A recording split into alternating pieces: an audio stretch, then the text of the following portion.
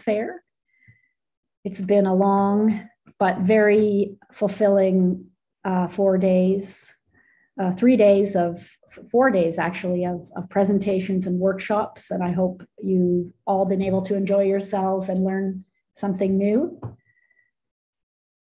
Um, before I introduce our keynote speaker, I'd just like to um, give you a little um, uh, idea of what's coming next. So we will have our keynote from 3.30 to 4.15, and then we will have a wrap-up session with the organizers. So just some housekeeping notes before we get started. Um, we will use the Q&A for questions, so please don't put your questions in the chat. Put them in the Q&A um, feature, but uh, we, we encourage you to introduce yourself in the chat box. Or um, if you want to ask a question live with your voice, just raise your hand and we will unmute you. And again, use the webinar chat for um, messages or um, introducing yourself. And a reminder, the event is being recorded. Um, all participants' microphones are muted. Um, and all the presentations from the Open Science Fair will be posted on Zenodo um, or, and will be, uh, the videos will be on the OS Fair YouTube channel. And we strongly encourage you to tweet um, your comments about the OS Fair using this hashtag, and here is the Twitter handle. And a reminder um, that we expect all attendees to adhere to the code of conduct of the conference. So without further ado, um, first of all, I'm Kathleen Shearer. I'm the Executive Director of COAR, and I'm very pleased to introduce our final keynote of the Open Science Fair, um, uh, Matt Buys, who's the Executive Director of DataCite. And Matt will be talking about the whys of open science, unpacking the core elements of community change and exploring what convergence looks like in the practice of open science. So without further ado, I'd like to turn the stage over to Matt. Great, thanks very much, Kathleen. Um, I think I need, oh, there we go, I've got access to share my screen. Uh, just to double check that you uh, can she see my screen? Looks good, Matt. Perfect. I've done that twice this week already. Started presenting and forgot to turn on my screen sharing. It's great to um, be here and um, Thank you for the invitation. Uh, thank you to the organizers for putting together such a great event.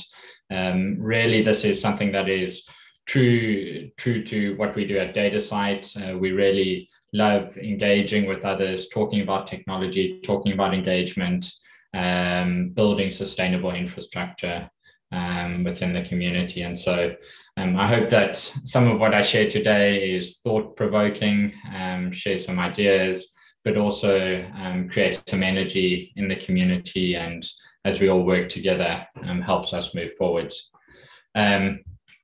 First and foremost, as any proud father would, I'm a new father or um, my second son was born last week. So uh, I, I, apologize that I was possibly not in, in all of the sessions. I have tried to um, check in with some of the recordings and join as many as possible. And so I, I do apologize to other speakers if, if there is some overlap in the session. Um, but um, I also thought thought I'd I'd share that news um, as any proud father would, I think. So without further ado, uh, let me jump right in. Uh, so um, I like this image. I thought it was interesting. Um, this is sort of pre the digital age and pre um, the world as we know it today. And so sitting on the couch in the evening, oh, well, you know, I thought of something and I'd like to know more about this. Um, and well, that's a shame. You, you're probably going to have to wait until tomorrow to go to the library or or go ask an expert or um, send a telegram if we go a bit further back. And, you know, the, these are sort of things that um, were in the past. And we really live in an age now where it's an exciting time for us. And there's a lot of potential and a lot that can be done and within the realm of open science, there's a lot of opportunity um, for us to, to advance as, as society. Some interesting um, figures that I thought would be relevant that um, present um, both, both um, I guess, a challenge, but also an opportunity for us as, as a global community. And the one is that 80% of the countries um, in the world spend less than 1% of their GDP on research. And so we know that there's obvious reasons that many countries can't afford to spend more than 1% of their GDP on, on um, research and development. Um, but we also um, know that we, as the open science community, have a very, very important role to play here and a critical um, uh, time for us in the digital age to be able to support communities um, around access to information and reuse of research. We also know that 93% of the global research expenditure is accounted for by uh, the G20 countries. And so, um, again, an opportunity exists. So let's start with some context. Uh, DataCite, um, our vision at DataCite is to connect research, identifying knowledge. And so um, in doing this, we are looking to bring together disparate pieces of research entities across the research lifecycle. And so recognizing that a research article is not the entirety of a research study, that there are many different pieces, many different contributions to the research lifecycle. And if we look at you know, knowledge transfer and sort of indigenous knowledge and how that's used in the realm of science. There's really important pieces in, across that research lifecycle.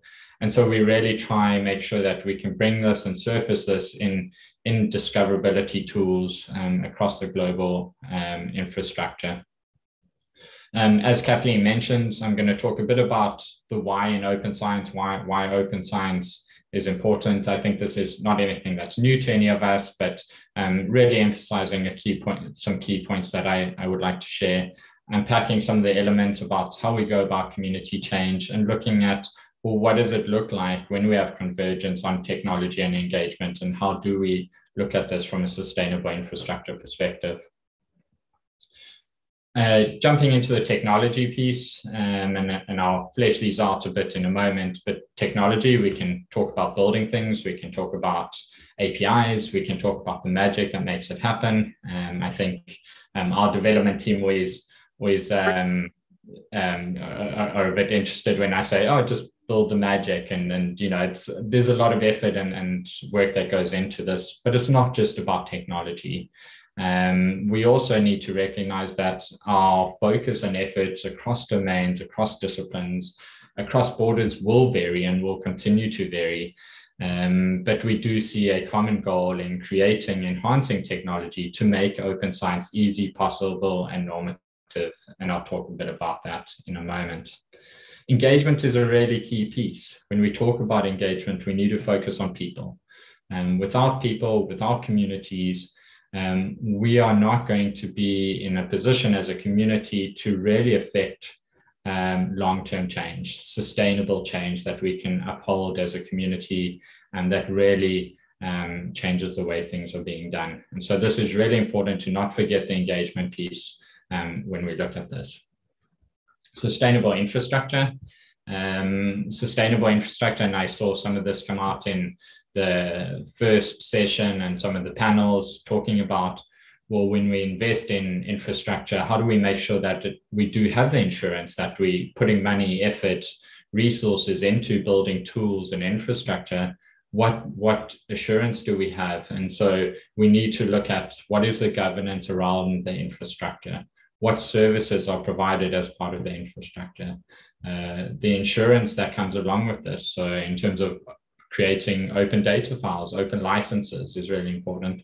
And then also not to be overlooked the long-term sustainability of infrastructure in that we want to make sure that these are not um, siloed or uh, one-off um, efforts to build a tool or build um, a siloed approach um, that isn't sustainable on an ongoing basis.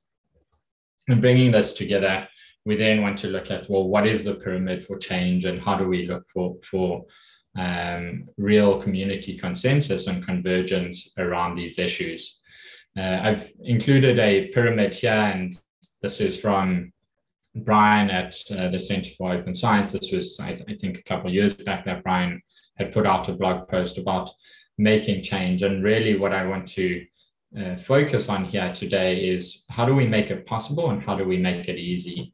Um, and, and, talking a bit about that.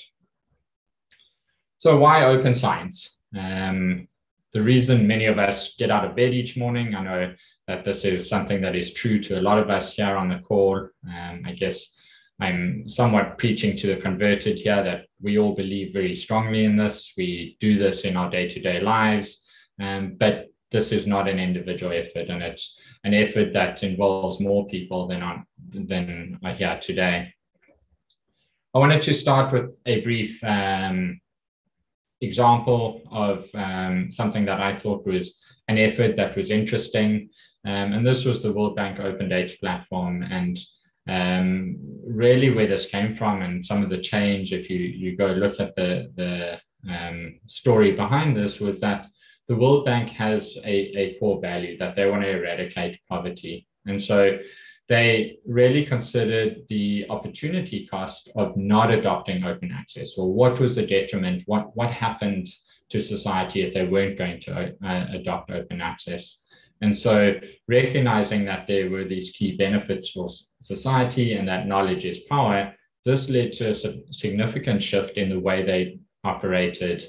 And this was shifting from a publishing operation um, where there was sales of products and, and resources to the complete opposite, where they were going to give away everything, make it accessible because of that fundamental value that they had as, as an organization.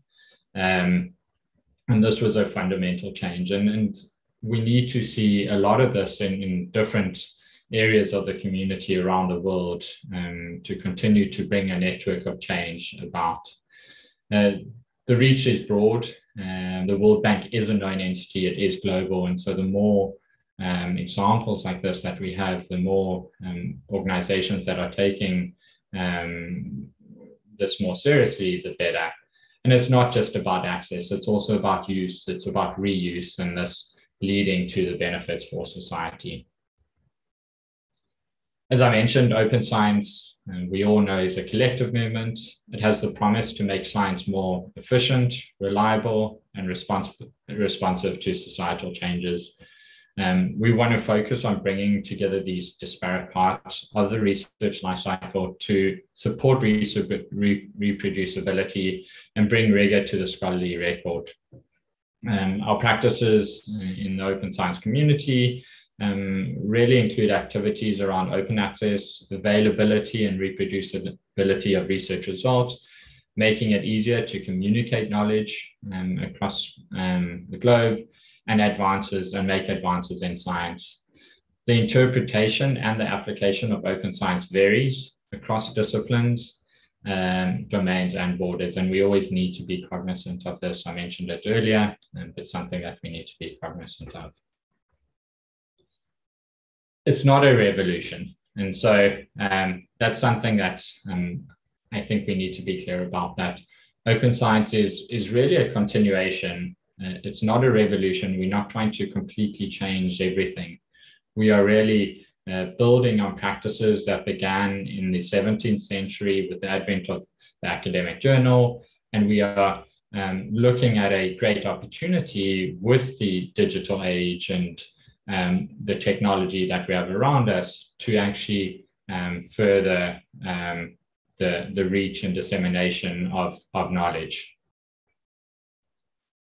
we do need to learn to see things from different perspectives. So um, even within open science, there's different schools of thoughts. There's a, a democratic thought that looks more around, okay, this is a, more about access to knowledge. There's um, an infrastructure school that um, really is around making tools and services available to support the research process. I would I would say that DataCite and, and myself maybe more so um, see this as a very important element, but also we have to recognize these other schools. Um, public, um, so accessibility to the research process and, and uh, rigor to the scholarly record. Um, there's schools around measurement, so focusing on the scientometrics of, of science. And then there's also the more pragmatic school of thought around making knowledge creation and dissemination more efficient. Um, and, and this is not to say that there is any right or wrong school of thought and, and that we don't have to sit within any particular school of thought, but recognize that there's differing thoughts and ideas around open science and um, how we move forwards. Some of the fundamentals that I think are key here is that we want to foster innovation and we want to support knowledge transfer. And so, in a nutshell, open science has this potential, and, and I say has this potential too, because I, I think we already have made significant advances in the community, but there's a lot more work that we can can do. Um, but these um, to reduce delays in the reuse of research outputs, bring rigor um, through the reproducibility, um, and also increase our path to innovation through this open and broad dissemination of research. In talking about open science, uh, I think we need to be a little bit careful about buzzwords. Uh, we definitely do this a lot. I, I do this a lot personally and, you know, use these acronyms and different buzzwords. Um, but I think we need to be careful when we use these because it sometimes clouds what we're actually trying to do and what we're trying to achieve. And so, um, you know, I use one persistent identifiers and well, what, what is the use case for persistent identifiers and PIDs? And it's not just about the persistent identifier, it's about the metadata, the services and the tools that exist around this. Machine actionable, fair, infrastructure, these are all things that we often in conversations use and throw around as um, catchy phrases or buzzwords, but um, sometimes without context and, and I guess a practical element of what we specifically mean and concrete, tangible activities, we um, lose some of the momentum and some of the um, energy that we, we uh, want to create in the community. Looking at the driving force um, behind open science is that we have this opportunity to really affect change due to uh, globalization and advances in ICT in this digital age. And we can unlock the potential of science and technology in order to address these societal challenges. And I think that's really powerful. Um, I often talk to my family and extended family about what we do each day. And we as a community do help and support making society a better place in our daily jobs. Every little piece that we do um, does support this. And so um, our future is positive if we get open science right. And so under the umbrella of technology, um, where do we want to focus? We want to focus on making it possible. So using technology to build, enable, and make technology available. We want to build it that it's community and purpose built um, to make it possible. So we, we're really engaging, sitting down, working through the workflows, and there's many different open science efforts, projects, large scale infrastructure projects where um, certain stakeholders will come together, but we forget the core element of um, bringing in actual researchers, the end users that will, will be using this, the um, uh, citizen science stakeholders, etc. And so it's really important to make a community and purpose built. Um, research stakeholders don't want complex solutions. And so we need to think carefully from our past and learn from our past mistakes that we're not building anything that's too complex um, for the community. So moving into um, community change, um, I wanted to unpack this a bit and starting off with um, also again something that I, I, think is really interesting and, and this is really focusing around communities of practice. And I use an example and I apologize um, for the um, mispronunciation here. And I also notice a typo on the page. apologize for that as well. Um, but um, the historic villages of Shirakawa-go and Gokoyama uh, are two um, villages in uh, Japan, which are UNESCO World Heritage Sites. And um, these uh, villages have unique houses with a very special design. What is interesting about these communities is annually the community comes together and everyone has a special role. Everyone has a certain role that they do in the community. So they have um, those that are specialists on working on the roofs, those that are specialists on doing the timber work. And so they all come together with their unique roles um, and their practice and work together as this community. And this is really, for me, a great example of a community of practice that we need to recognize that we all have our different roles. And so, if we go back to the schools of thought that I was talking about in open science, is that we can work together across those different schools of thoughts and different focuses, um, but it does require that um, collective effort. The concept of change, and so um, working on change is really important as we know that we need to identify who, how, and what. Um, this won't be a centralized movement. This is not something that we will have complete convergence and agreement on everything that needs to happen in the community, but rather a collective of collective movements. And so trying to focus on that is that what can we do in our in our little uh, collective movements or uh, group or uh, community to affect change? And how do we link that up to other changes that are happening out there in the community? Shifting from this interest to practice. And so we we often talk about communities of interest that we we have a community we have a domain in open science um, but then it's that practice and what are those actual tangible activities that we're going to work on together? And so we need to find these synergies thinking about starting to scale these practices um, on a global scale. This can't be a local. Um, if we look at the theme of, of the event this year, that it is a global collective effort. We need to focus on making it easy.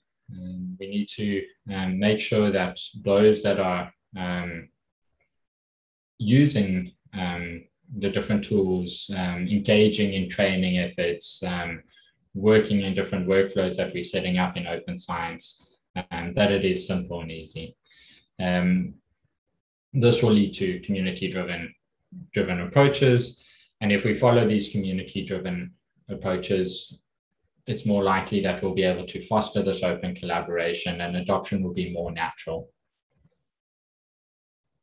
the research lifecycle, I, I touched on this briefly earlier, that we're faced with the challenge that current research articles only provide a fraction of the information required to fully evaluate a research study. And I want to be careful here that I, am not trying to detract from the research research um, article and, and saying that these are substandard. They're not at all. And, and there is um, a lot of value in, in the peer review process and, and articles and, and, research that is published. But we also want to, alongside this, recognize the entirety of a research study and focusing on all of these different elements that come together. And this includes, you know, the data management plans. It includes the research data, the protocols, the methods, the, the data, the instruments that were used, the software that was used, and bringing this together to, to foster that reproducibility and reuse of, of research. And so uh, within um, community change here and focusing around engagement, um, it's important that we make this easy. And so we won't bring about this change without involving people. And to a large degree, this is not a fundamental technical challenge. Um, I, I also do do know that um, some technical teams and um, experts in our field um, get a bit irritated with me when I make some of these comments because it almost um, downplays, oh, we can just build anything. Um, but you know, with the right resources, with the right time, um, we can build technology. but it's important that we're involving the people because we, if we don't involve people and communities in building this technology, um, that's when we we fall short of, of um, scaled adoption on a global level. Practice includes workflows, it includes tools, it includes communication, it includes policy, it includes recognition. This is complex, it's not simple. Um, but together we can affect more change and, and going back to what is our practice, what is our role in the community is really important. Um, engagement will foster this evolution and make it easy. Looking at convergence, um, what does this look like? And this is somewhat, I, I, guess, a bit of Matt's thoughts, what, what convergence looks like. And I'm sure everyone here today has some different ideas and thoughts about what this means. Um, but really, um, where I see this is that um, convergence is when we start to see open science becoming normative. Um, and for me, a strong indicator is when we start talking about science again, when, when we don't have to talk about open science, and that we are just talking about the practice of science. Um, I, you know, maybe it's unrealistic to, to think this, but I do think that if, if we, it becomes normative that open science is science is open, um, that's really when we know that we are reaching an, a point, a, a, tipping point that we really have um, seen things becoming normative. So through enabling and building technology, um, working with people and communities, we will start to affect this collective change. This technology and again in, and engagement brings across uh, brings across different things in, in um, looking at this convergence that we bring efficiency, so we bring better access to the disparate pieces of the research lifecycle. We bring quality and integrity, so uh, supporting reproducibility and accessibility. We, we improve the integrity of research. There's economic benefits in that we support and drive innovation with broad dissemination of knowledge. If we go back to some of the figures that I used at the beginning, that well, what about communities that um, don't have the financial resources or countries that don't have the financial resources to invest heavily in research? How does open science support and, and drive innovation in those regions? Innovation and knowledge transfer, enhancing the reuse and promoting further innovation, so reusing information that exists providing recognition and attribution. And this is really important. So attribution to all involved in the research lifecycle. Just recently, I was um, having discussions with um, a group that's looking at Indigenous knowledge rights, and it's a really important concept around how do we provide attribution to Indigenous knowledge. Um, that for a long time ha- hasn't been um, appropriately attributed. Um, and open science can really support this. And then we have these societal benefits in bringing innovations to the daily lives of people around the world.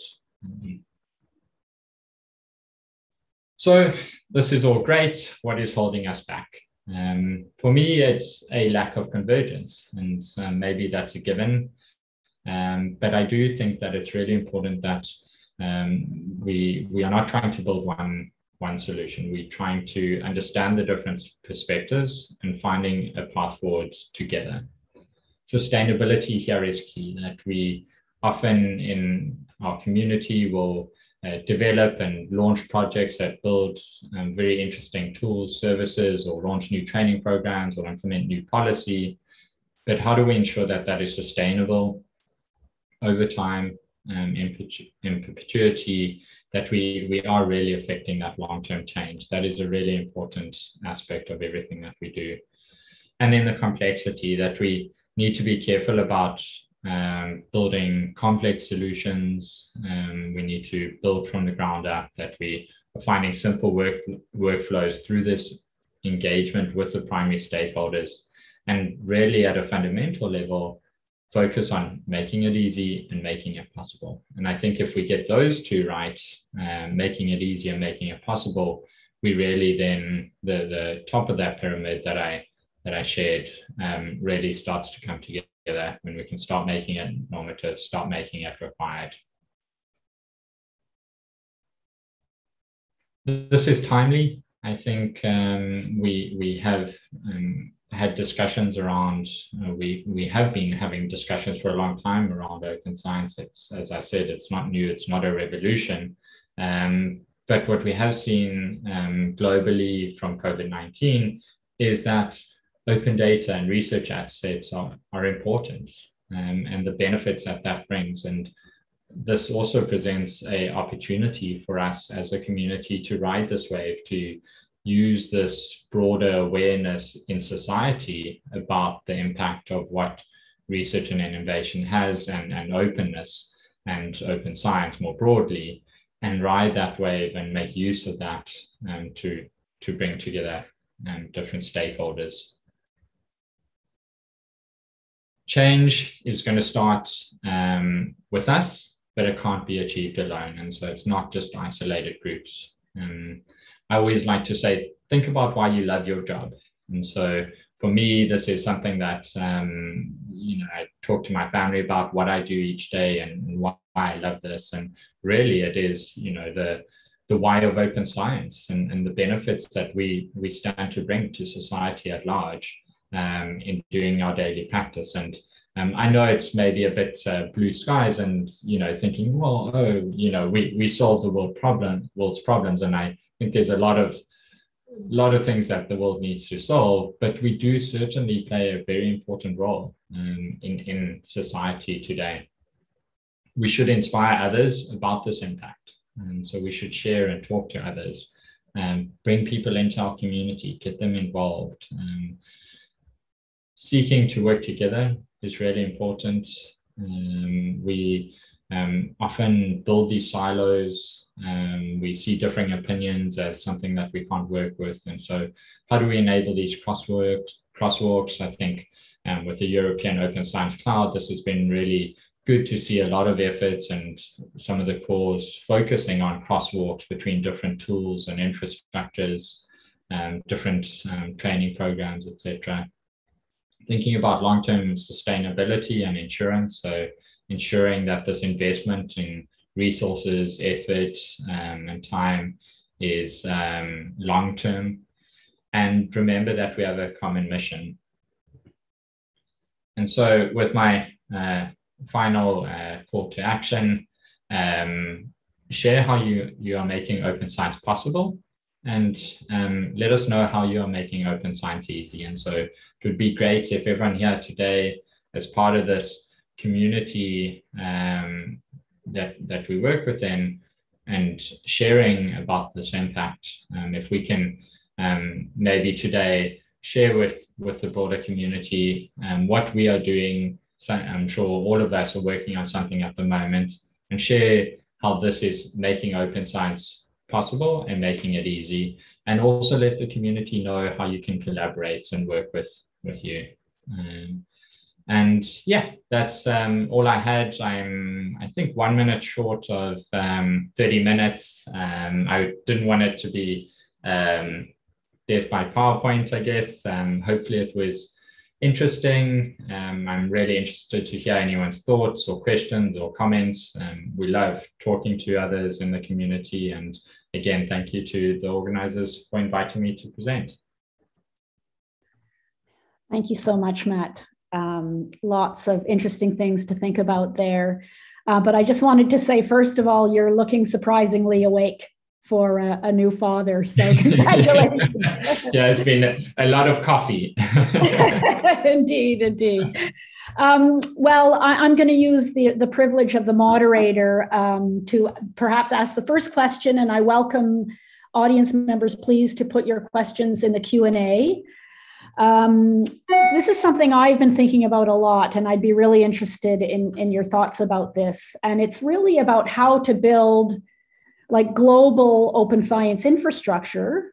Um, you know that kind of t- uh, benefits from cost efficiencies around sharing uh, shared infrastructure that seems to be more visible to researchers yet on the other hand you know, supporting local needs, supporting different languages, different research priorities, different domains.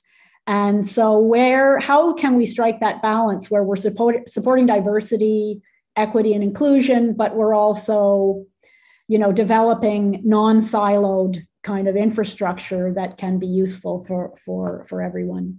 Yeah, it's a really important one, and I think it's there's, no easy way forwards. I, I think for me, what I would say is that bringing in that engagement. So if you have the opportunity to engage and work with as many communities as, as possible, that's great. But I look at DataCite, one of our core values is inclusivity. And we have uh, members, organizational members across 48 countries, but it's not realistic for us to really, uh, you know, as much as we do try and engage and make sure that we, we represent the interests and the workflows and the use cases in all 48 countries, it's not always feasible and possible. And then, so I think with that in mind, as you build infrastructure that um, you need to make sure that you're also making it openly available, that it's an open license, can be reused. So if you're building technology, it should be freely available. The data should, you should not be looking to commercialize any data or protect the data. The data should be open and your code and software should be open. And that then creates the opportunity for, for two things. One, that communities can adapt to their uh, local workflows in, in a certain country or region, and they can build on top of that and um, those services and technology. But also, if there's some real specific needs that they would like to look at, they could also fork that technology and infrastructure and plug into the global infrastructure. And so I think trying to strike that balance is kind of how I would look at it is that there's this effort to make this global infrastructure available, but building either on top of it or forking it for specific needs would make sense to me. And um, that we try then break down at least then it's not a complete siloed approach that we we ending up in 20 years time okay how do we address this because we've got these different um, infrastructures that don't quite align yeah, and I think your point about collaboration is also important. The more we collaborate, maybe maintaining our own um, jurisdictional independence and so on, but collaborating, uh, you know, sort of builds in um, interoperability and alignment. Absolutely. Looking for any other questions? Um, there's nothing in the q&a right now so then i'll move on to my second question which is um, something that I've heard, and this is really about um, minting DOIs, you know, very much the the the core business of of DataCite, and I guess one of the the barriers for developing countries is the cost of, of DOIs, and I'm wondering if you you've discussed that in the context of DataCite, and if you have any thoughts about how we can address that barrier. Yeah, a really important one. And so we, we fundamentally believe that as an individual, as a researcher, you shouldn't have to ever pay um, to have a DOI. And so we also work with a number of partners that um, can support that and open platforms. Um, but I don't think that fully addresses everything. And so there's still more work to be done. Um, we um, have looked and we implemented a new model um, just last year at DataCite, uh, which is a consortium model, we have 44 of these regional national consortia, which really allows for a key uh, consortium lead to support small organizations and communities. Um, I was really excited. We launched a new um, consortium in Malawi, uh, based out of Malawi. Um, and so that's just one example of where we're trying to make sure that we support this. Um, there is a cost recovery element um, in that we need to recognize that infrastructure does cost um, and we need to make sure that also we're protecting that long-term investment so that we don't want everyone to invest and build technology around infrastructure and for in 10 years time that ought to be disappear. And then i heard this in the first session is that well if we invest in this what is our assurance that we do have this? And that doesn't mean that developing regions um, should have to pay. And so I think there's more that can be done. I think there's more that can be done at a broader, more sort of um, governmental level. You know, if we look at the spread of um, research and development investment um, across the G20 countries, well, how do we support the other countries and make open science possible? Um, I do think that if we focus there to make sure that that sustains the infrastructure, that the other regions can then plug in and make use of the infrastructure without having to pay, then we've done a lot in the community. Um, so we don't have the answer completely. We are trying to address it from a DataCite perspective. Um, but I also we will always um, talk to, and, and, we often have inquiries from organizations that say we want to register five DOIs, and we would rather them work with a um, organization that already works with DataCite than try have another member or another organization because we, the goal here is that we make sure that we support the means to create fine site research um, and make it openly available. And so if we're creating financial barriers to that, then we're not doing our role in the community, in the open science community. So I hope, sorry, that was a bit of a roundabout answer, but um, a few points there and, and yeah, not fully solved, but lots to still be done there. Yeah, I, I think you're right. There's no, there's no um, good answer for that, but it's something that we will continue to have to grapple with. Yeah. Uh, I think. Um, so there's a couple of um, uh, comments, uh, one comment and a couple of questions in the Q and A, and I'll just read them out. Okay. So Elena says, just a comment. Thank you for this inspiring talk. You touched all the critical points. Thank you, Elena. And Julia says, can you share some examples of community of practices, any successful stories? Yeah, I think, um, let me share one where, um, so a very brief one, and, and I actually do need to get this up onto the RDA website at some point. Um, but um, looking at persistent identification for instruments, and so there was there really was a lot of interest around identifying instruments in the community um, as part of this research lifecycle. So the RDA working group really brought together that interest and sought to build out the community um, interest and identifying tangible, um, practical things to take that forwards from interest into practice. And that's where we then took that on from a DataCite perspective working with um, EPIC in Europe, um, so GWDG um, that run EPIC, and um, also EUDAT to launch a PIDS for instruments pilot service. And so this for me was a very small example of where we looked at a community of practice that um, we looked at that community that developed those specific roles and things that can be done. And one of those roles was implementing some schema mappings and a service or tool to create a registry. And that's where we went and built that out um, and embedded that into the broader persistent identifier graph and, and reuse. Um, there's many different uses, and I'm obviously talking from an infrastructure tooling perspective. I think there's many examples in training and um, communication communities of practice as well. And, and maybe just, sorry, I, I I'm talking a lot here, but a community of practice um, has the core elements of that you have a community, you have a domain, so a common domain, and you have a practice. And so I think it's important identifying what is that practice that you're going about as a community of practice. And again, um, identifying your specific role in that community. Okay, thanks, Matt. Um, there's another question here, a very challenging one. Um, openness can be seen as a privilege that many can't afford because withholding of commercial data can be a way of developing local resources. Look at developing countries' COVID data. How do we ensure that open doesn't turn into a tool for the haves to exploit the have nots?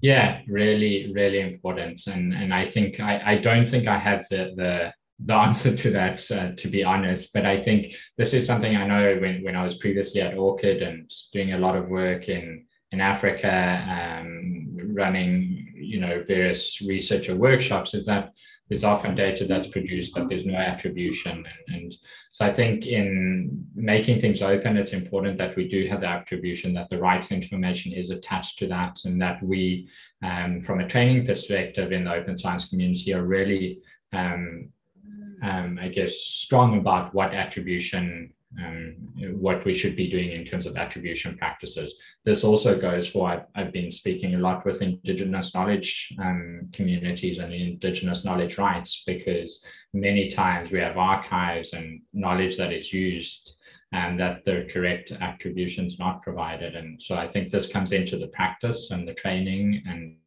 work that we're doing with the community. Um, it will take time. Um, I think if we make it easy and possible to do that attribution, making it normative and making it required comes on from that. So again, making it easier, making it possible um, for me again are, are the core pieces to, to move that forwards.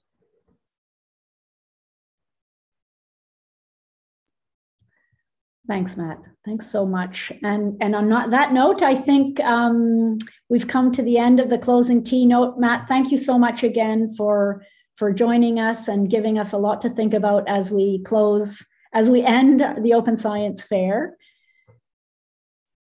Thank you very much. And um, yeah, great to see so many familiar faces and reach out if you want to have more conversations. And we hope to continue to work with you all. Um, thank you very much for the invitation.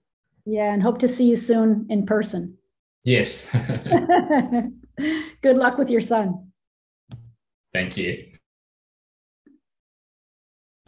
Okay, let me just get my slides up. So here we are. We're at the end of the uh, very successful, very rich Open Science Fair. Um, I'd like to start off by just saying thank you to the organizers or the organizations that participated in organizing the Open Science Fair. You can see them listed here.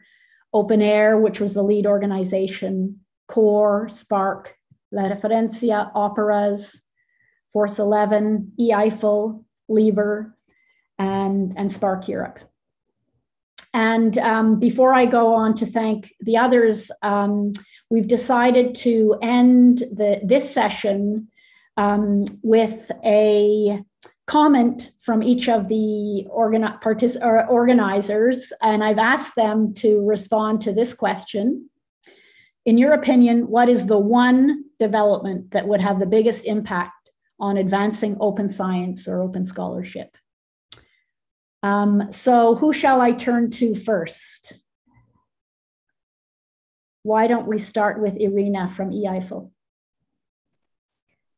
Thanks a lot, Kathleen. Um, and um, that's that's not really an easy task to say it in one word, but I would say fostering bibliodiversity, and that's a call that we made a year ago in COAR, and uh, I think if we foster diversity of uh, scholarly outputs, diversity of approaches to research assessment, diversity in infrastructures, uh, that would create a path to more equitable uh, and more fair open science. Um, and um, on the global level, we already have UNESCO open science recommendations that could be an umbrella instrument to unite those diverse local approaches to local to open science. Thank you, Irina. Let's see how much overlap there is in what people say as well. So um, let me ask uh, next uh, Elena Giglia from Operas. Yeah, I, I, I really don't know when you when you asked uh, this question. I I mean after COVID, what else do we need to, to see the benefit of open science? I, I really don't know. So I, I would be tempted to say um, new research evaluation criteria, because of course, uh, research evaluation is key, but I fear it also works as an excuse uh, to wait somehow uh, open science happening uh, somewhere. So my my message would be uh, let's start doing what you can do now. And we, we saw during this amazing uh, open science fair that there is a, a lot a lot of tools uh, out there. they are available and they make it easy, as Matt was saying. or to, to, to quote the, the Turing way and, and Rachel uh, Ainsworth, it's too easy not to do it. So I, I would say that, and, and also my, my take home message from, from this Open Science Fair is that you are not alone. So really the importance of, of the community. And, and I saw a growing community uh, out there uh, to support you and to share, to, to co-create, to collaborate. I, I, was astonished to, to listen to Malvika Sharan's talk on the richness of initiative and players. So it, it's a matter of convergence and creating synergies, in my opinion. Thank you very much, Elena. Um, how about Lautaro from La Referencia? Hi. Well, it's hard to choose one development, but I, if I think in a positive impact in advancing open science, I will prioritize, prioritize uh, to implement changes in research assessment. Uh, mainly because we need to create genuine incentives to researchers and communities. We need to reinforce the open science practices in our research ecosystem, not only for the results and data sharing, but especially for the data reuse. We need to create mechanisms to award the research data reuse because it's a way not only to increase the collaboration, it's always it's also a way for a smart use of the public fundings. Uh, so uh, in, in, in the other hand, uh, international collaboration is great. What, what, we are doing here is great, but it's not always easy. It's, it's in part because the language and the cultural differences.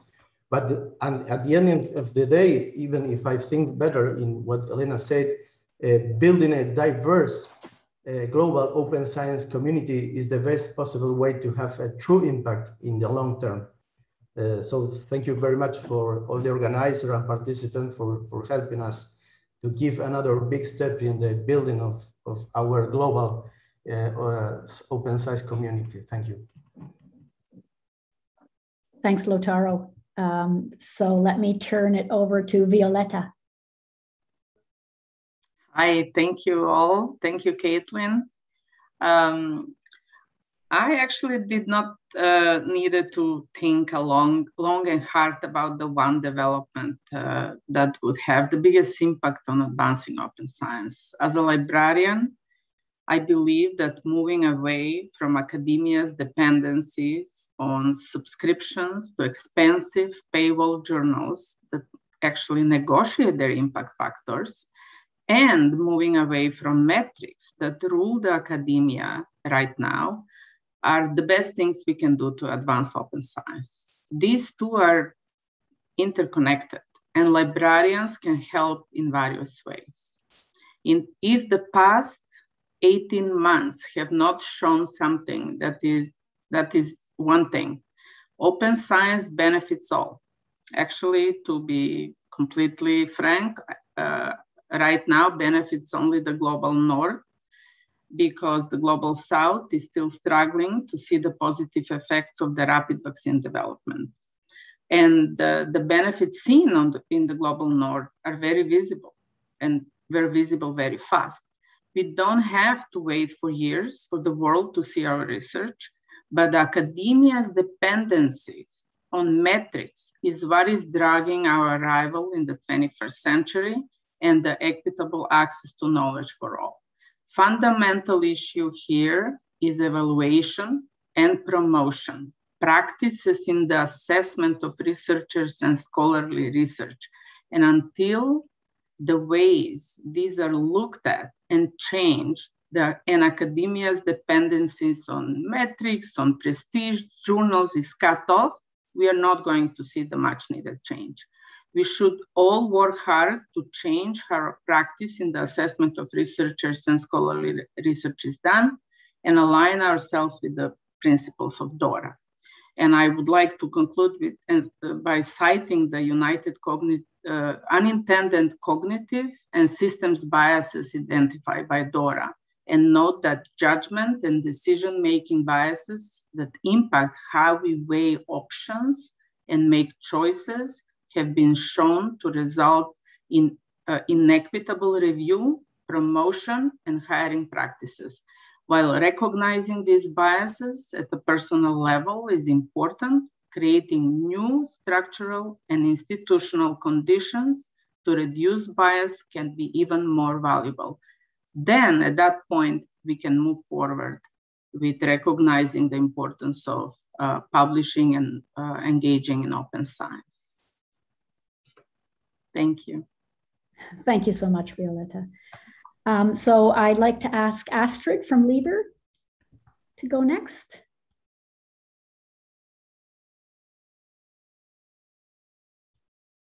Looks like Astrid is having some issues, so maybe in a, okay. in a minute. Okay. well, I was leaving um, Natalia for the last, but pl Natalia, please, please go ahead. Uh, hi. Okay, I, I, I, you know, I, I'm not sure I wanted to be last because everyone has said things. So let me, let me, let me. Can, can I say two, two, two things? You know, just not one thing. I will be. Yeah, will since be very... we're missing our our SPARC colleagues, you can say two things. Okay, good. Okay, so I think you know I, I am going to repeat what what the others actually repeated. So I will repeat what uh, Elena re- said. It's about the tooling. You know, we we have been talking about incentives. We have been talking about career assessments for years. You know, no, it's it's either nothing is happening or it's too little, too late, perhaps. Uh, but if researchers, you know, if we if we change our thinking and say, okay, you know, what is the tooling? And the libraries are very uh, keen to that. What is it that they want? I mean you know everyone is using google for example. Everyone is using all of these things that you know every day. How can we make you know small and smart services for the for the for the researchers to use? Because that's is is you know when when these are the incentives not the incentives for the careers but the incentives to make their life easier. Okay i think you know this is this is one point. And i really like you know that especially from the demos that we were able to see these steps. Um, and, and, this would bring a global alignment you know uh, from the bottom. You know think about facebook. You know it took them two three years to change the world i'm not sure if we're going to be changing the world but with the right tooling you know we we could do something. Then this is not enough because you know what I like is you know what Irina said is you know from the top down is now we have the UNESCO um, the UNESCO um, uh, recommendations, which hopefully at least from the panel's founders, the the, the policy uh, panel uh, that I was um, uh, moderating, it seems that you know these these people they wanted this this kind of push from above because that's a mechanism and a means to go to their governments. And so, you know, if you have the bottom up and you have the top down, maybe, you know, we can go somewhere um, fast. That's, so I'm repeating, you know, I'm just putting yeah. context to whatever the other said.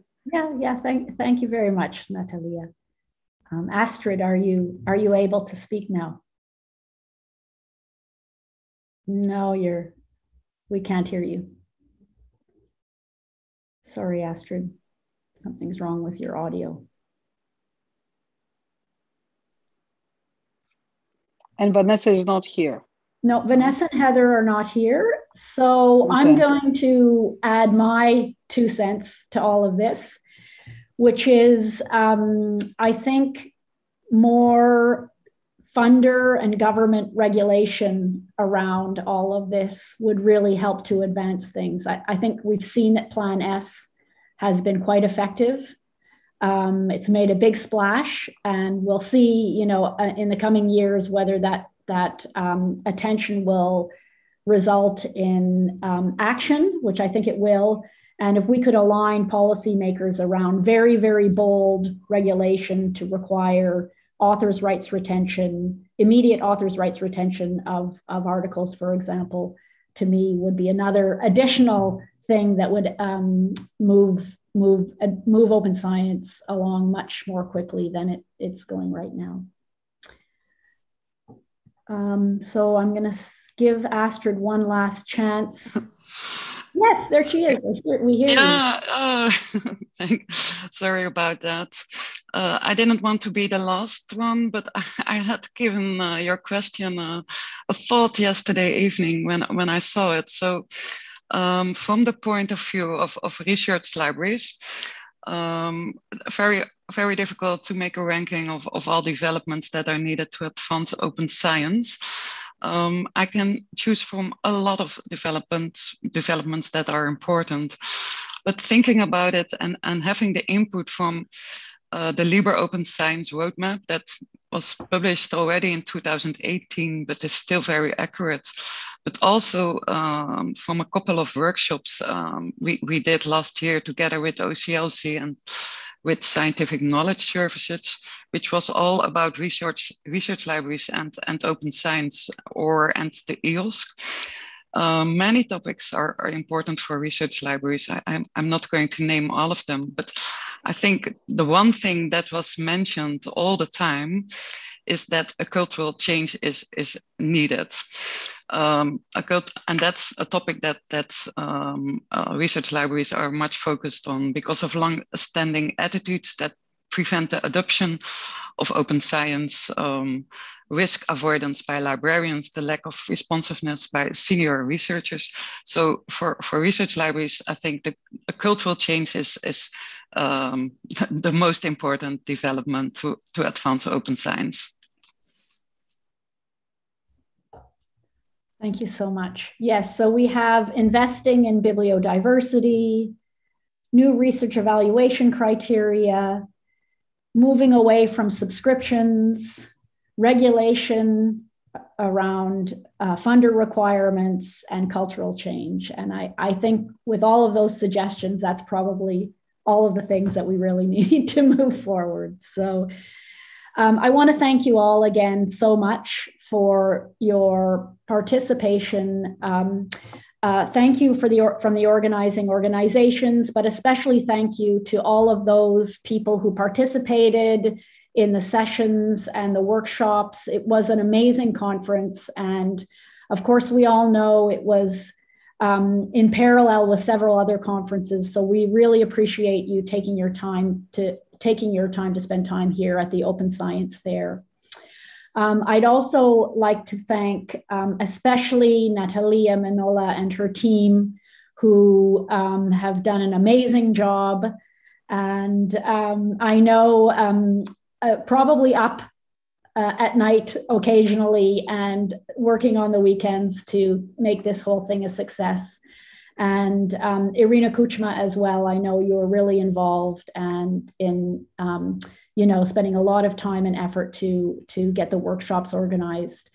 Um, Natalia, I'd just like to hand it over to you. Um, if we were together in person, we would be giving you flowers. But I just I I'd like to hand it over to you just to say a final thank you, and maybe you could mention the name of some of your team members who were particularly um, okay. large co- contribution. Okay, so thank you, Kathleen. So first of all, uh, you know, let's let's say let's let's let's um, uh, focus on something that we uh, did we said in the beginning is that this was you know led by OpenAIRE but it was a co-organization co-organizing of, of many open uh, open science initiatives.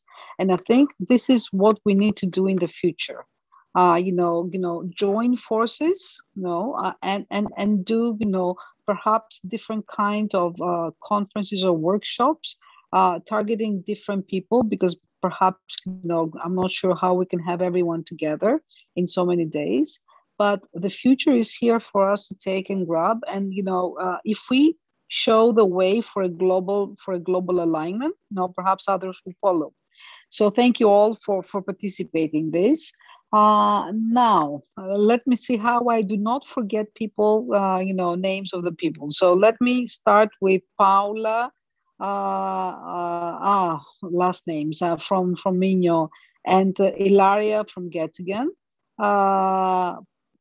how can I, you know, how can I do that? Uh, Pedro uh, from Minho, Athena from LIBER, uh, just just saying the, the, the, first names. Anastasia from uh, from um, from uh, uh, OpenAIRE, Vasilis, who are who is our designer. Uh, Eleni Toli and Electra from Athena Research Center, who were keen in, in, in, in, in, in helping out with the logistics, but also with the reviewing.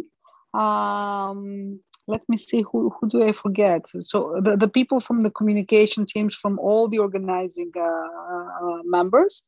Uh, and then um, uh, Irina, who, who am I forgetting? Athena, who was hosted all the sessions. Yeah, Athena, I said Athena. Yeah, I mean, you know, she's great. Uh, uh, and uh, I think, you know, I've, I've mentioned most of most of everyone and you know what i would like to you know to end is you know if, if you put the previous picture kathleen uh you know the the the, the, the organizing you know the one before you can see that it's a it's a it's a, it's a woman power you know Pula Lautaro is, is there so this is something that you know next time we need to, to have more gender balance.